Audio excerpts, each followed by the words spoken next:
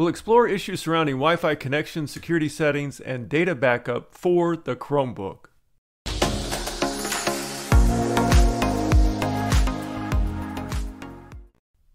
Hello everyone, this is Rick with Cybermedics. Today we'll demonstrate and show you three ways to resolve internet connection issues with your Chromebook. We'll also show you how to reset the device, backup data, and recover all account information. Finally, we'll explain recommended security settings to protect the device and your account. The video is broken up into four main parts. All parts are time coded so you can skip around as desired. The first step we're going to explore is going into the internet connection settings here under the gear icon. So we just clicked on that, went to the gear icon. We're going to go to the Wi-Fi settings here.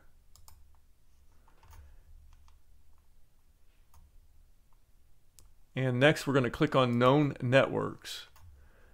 Now, what we're going to do is come down under all of these networks that you see on the screen here and what you're going to do is select forget. So any networks that are within range of your particular device, you're going to just click forget just to make sure your Chromebook isn't inadvertently connecting to something that you don't want it to connect to. So my recommendation here is just forget everything that shows up on the screen. Now you see you have no networks at all. So now that we've forgotten all of those networks, what we would do is turn off the Wi-Fi. We'll go back here and now we're going to shut the Wi-Fi off. After you've forgotten all networks, you've shut the Wi-Fi off, the next step would be to shut the device down. Once you've restarted the Chromebook, come down to the lower right screen, click on the gear icon, and here we're going to turn the Wi-Fi on. So now the Wi-Fi is on. And then go down to your particular router that you want to authenticate with. And then try connecting to that router and see if it works. If that works, great. You can skip the next two parts for troubleshooting. So this next step, if that didn't work by for just forgetting the network, go back to your Wi-Fi, turn it off. So this is the second step for troubleshooting this. Once you've turned off your Wi-Fi, you've forgotten all your networks again, what you want to do is you want to go to your router and power down your Wi-Fi router. Make sure it's disconnected from the network.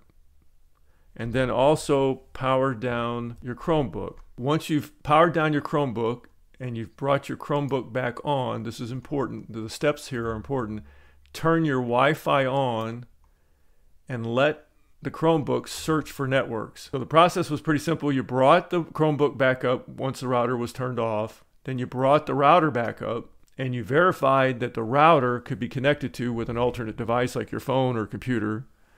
Now what you want to do is select that again and try it and see if it works. And if it does, great.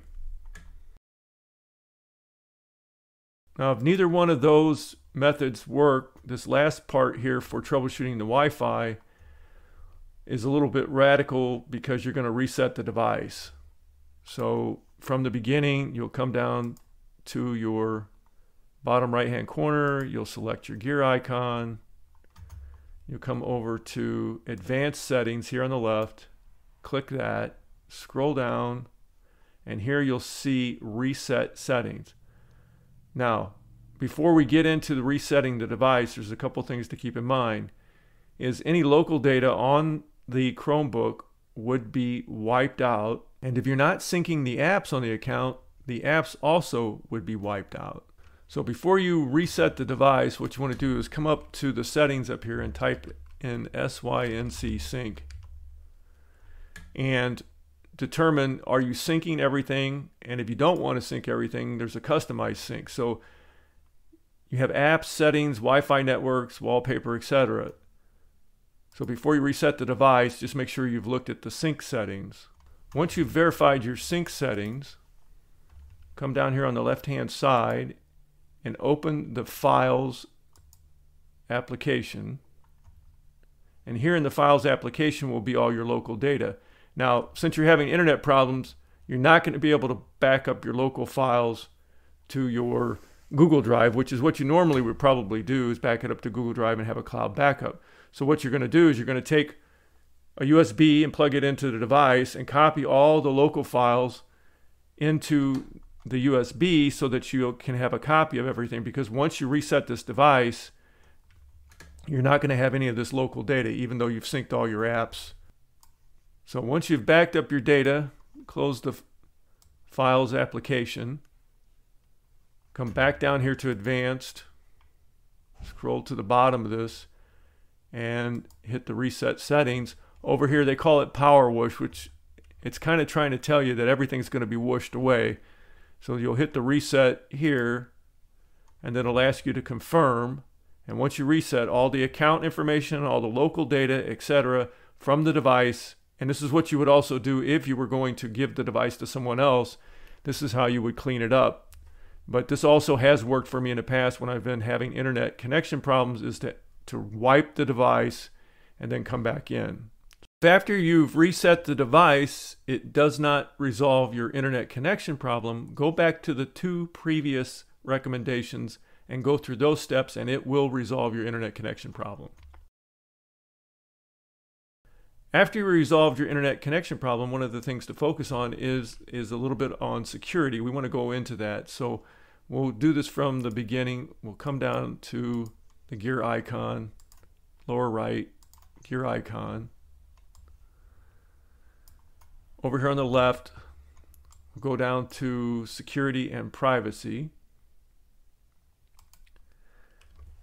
And what I want to show you is this section here. It's called manage other people. Now, the reason this is important, I'm going to get something here real quick that I have on my key ring. It's called a hardware security key.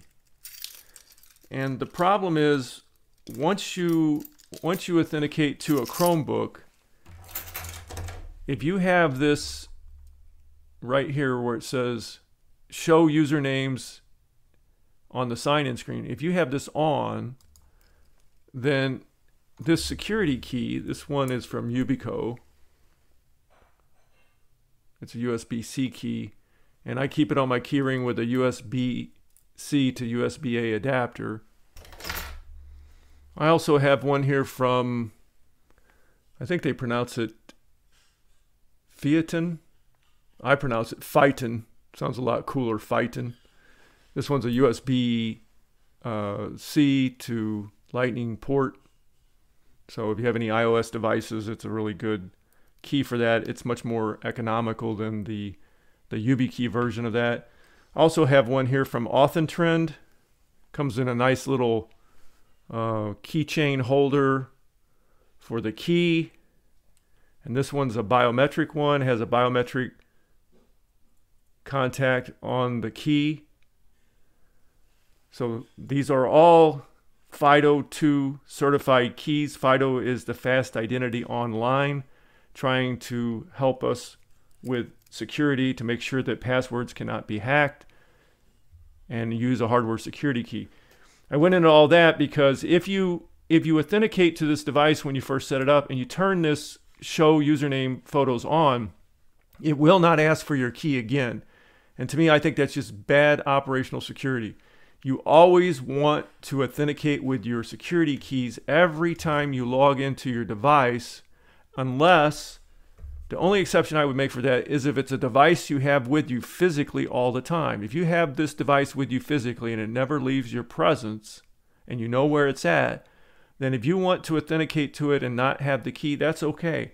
But if you're leaving a device in an office or you're leaving it in your house or in your car, you walk away from it, you should always force that thing to reuse the hardware security key.